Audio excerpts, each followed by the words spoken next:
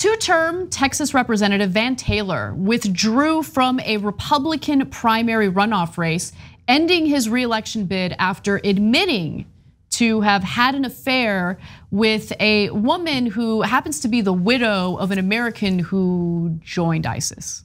So this story's got a lot of twists and turns. Uh, so here's a photo of Van Taylor. He will no longer uh, be a representative in Texas after his term is up.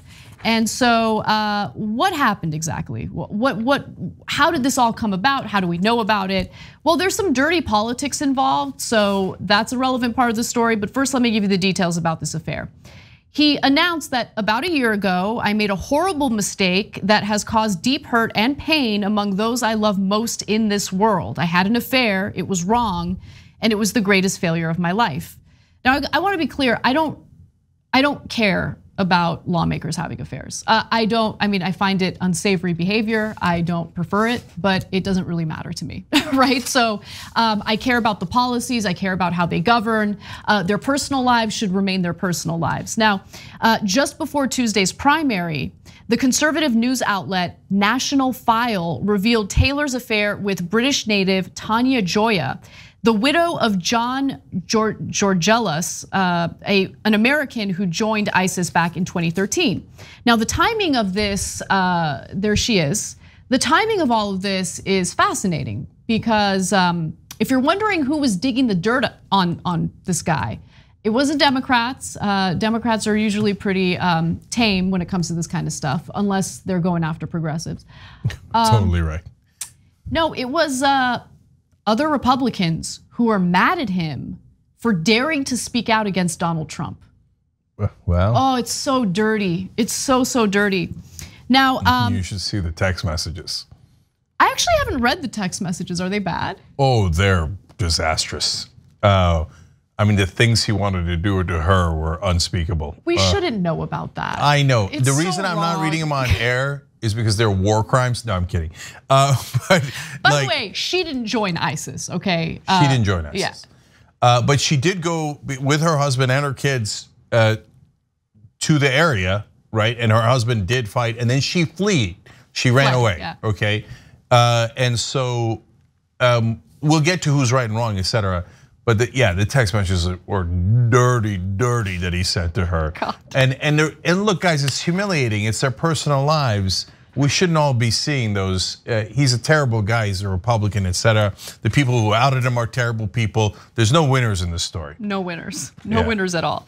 So, with the first reports of his affair coming out about 36 hours before the polls opened, he fell just short of the 50% threshold to avoid a runoff in Tuesday's primary with 49% of the vote.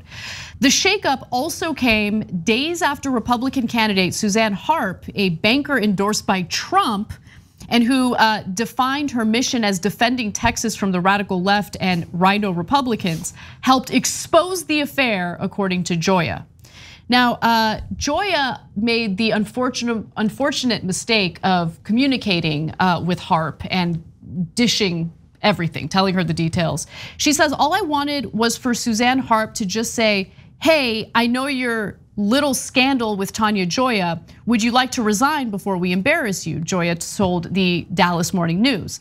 But it didn't happen like that. Instead, Harp sent a supporter to meet with Joya, who uh, bared her soul uh, in a 35 minute recorded interview posted online Sunday night by National File, a far right news site uh, that does not have a good reputation. Let's just put it that way.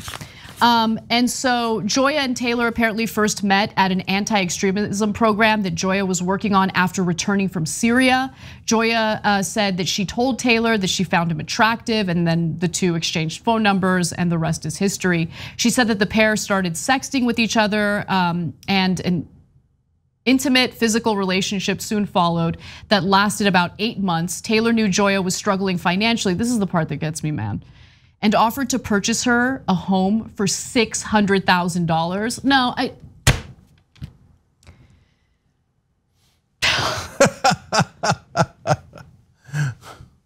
Why are some men so stupid? Oh no, I know. Why are like not all of you guys? I, I, don't mean to make any like blanket statement or generalizations, but when it comes to guys who get caught up in scandals like this, Like, how is it that sex person $600,000 home? No, guilty. Never mind. Throw him away. Throw him in prison. No, I'm just kidding. Not prison, but he should. Prison. okay. I mean, if it was my husband, I'd want prison time. I'm just saying. well, especially if you saw those sex. Oh my God, can you imagine? Can you imagine finding out that your spouse withdrew $600,000 from bank accounts to pay for a mistress's home? Heads would roll. Oh my God. Heads would roll. Okay. There was, talk of what would happen with tonsils in the in the text messages. Oh come on. Okay, so anyways, uh, it is what it is. Okay, but to show you how stupid men are, um, as soon as we put up the picture, I was like, let him go. No, Jake. no, I'm kidding. I'm kidding, but I'm kind of. But uh, okay. Look, she's so, no, a beautiful no, my point. woman, but like the thing that look, listen, we're all humans. We all make mistakes, and like, I don't prefer affairs, but the affair actually bothers me less than using the family's money to buy this woman a $600,000 home. No, that's obviously what set you off. There's no question about that. Okay, she's like, oh, she went to, her husband went to go help ISIS and she helped. And it's like, wait, what'd you say about the house? Okay, so uh, look, look, let's get to the uh, bottom line here, okay? Um, so she's an interesting cat. I mean, she went and clearly went after him, right? Like going up to a congressman who is not attractive and being like, I find you very attractive. You want to exchange phone numbers? Later, do you want to pay for my $600,000 home? So she's an interesting cat, okay? But her personal life, who cares? She's not, you know, look, her husband did the crime. She, she apparently didn't do anything wrong. She's a free person. She lives in Texas, right? Uh, so that's already been resolved. Uh, they had a personal affair. That actually has nothing to do with how he votes in Congress. So on the, you know, is that enough that I would say he should leave office? Yes. No. she changed her mind in the middle of the story because of the house. Okay. I had forgotten about the house somehow. Uh-huh. Because like I thought about how they did him dirty because he spoke out against Trump. Like that's the reason why Republicans are running against him, or uh-huh. why Republicans were primarying him, right? And I was like, that's wrong. But I forgot about the House situation. So the House did it for me. No, guilty. He should definitely step down. He's a national disgrace. That has nothing to do with how he votes. So now misuse of funds. Okay, misappropriating funds. Uh, but you don't know that. No, I know. He might be rich. You don't know that he's using campaign funds. You don't know if that at all. If he's willing to use the family's money in that way, I guarantee that he might have some issues with campaign funds as well. well they should look into it. But no, but by the way, they should. Yep. That I agree with you. We don't know that he did that. Uh, but first of all, just as a general rule, Republican politicians have no morals at all. So and and Ana's right. If he's willing to use his own money, you think you sure he wouldn't use your money? I mean, Republicans do it all the time. Yep. Politicians do it all the time. And so, anyways, and he might have stepped down because that was just the tip of the iceberg. Because usually Republicans don't ever step down.